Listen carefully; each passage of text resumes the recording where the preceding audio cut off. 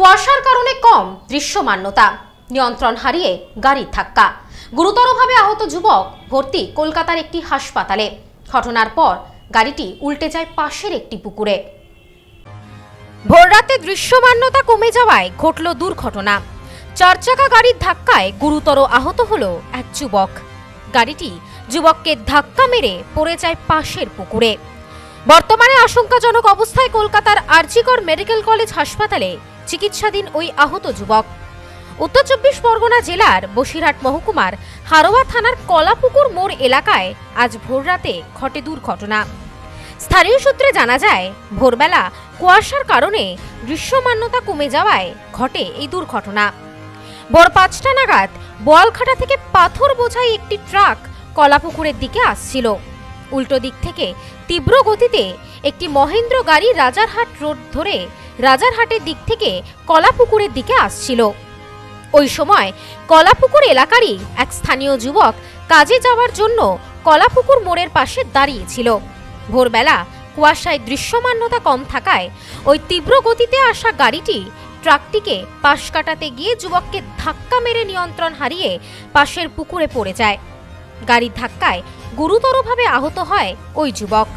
স্থানীয়রা আহত ওই যুবককে উদ্ধার করে আশঙ্কাজনক অবস্থায় কলকাতার আর্জি করে ভর্তি করে। বর্তমানে ওখানেই চিকিৎসাধীন ওই যুবক। ঠিক কীভাবে ঘটল এই দুর্ঘটনা? জানতে ইতিমধ্যেই ঘটনার তদন্ত শুরু করেছে হারোয়া থানার পুলিশ। স্থানীয়দের অভিযোগ, ওই কলাপুকুর মোড় এলাকাটিতে আকছারি এমন দুর্ঘটনা ঘটে থাকে। কিছুদিন আগেই ওই এলাকার আরেকজন ব্যক্তি পথ দুর্ঘটনায় মারা যায়। তবুও এই বিষয়ে কোনো পদক্ষেপ এখনও পর্যন্ত নেয়নি প্রশাসন। স্থানীয়দের দাবি, এলাকায় যানবাহন নিয়ন্ত্রণের ব্যবস্থা করুক প্রশাসন। এখানে সকালবেলা এই পাশেই বাড়ি ছেলেটা সকালে করে কাজে যায়।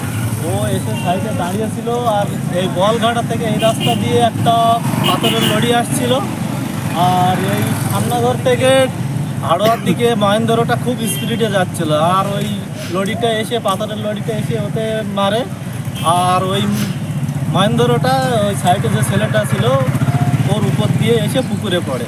সে ছেলেটার অবস্থা এখন খুবই অবস্থা খারাপ। সে এখন হসপিটালে ভর্তি কোনো খবর আসেনি এখনও হুঁশ ফেরেনি।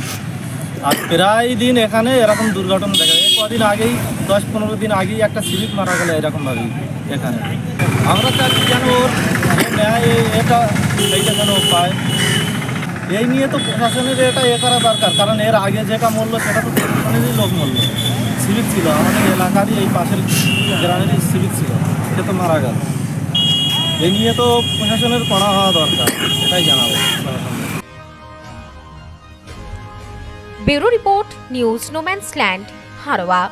সবার পায়ে সবার পছন্দের উন্নত গুণমানের জুতো প্রস্তুতকারী সংস্থা সুনীতি ফুটওয়্যার। ডিস্ট্রিবিউটারশিপের জন্য যোগাযোগ করুন eight six one seven double eight three four nine three, office Bongaon, উত্তর চব্বিশ পরগনা, পশ্চিমবঙ্গ।